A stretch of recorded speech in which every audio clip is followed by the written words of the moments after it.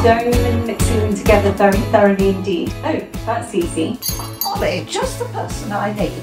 Oh, darling, you look so pretty. I'm actually intrigued. I didn't know this is how you made flaky pastry. So, and I do think that I've shown a certain degree of natural talent.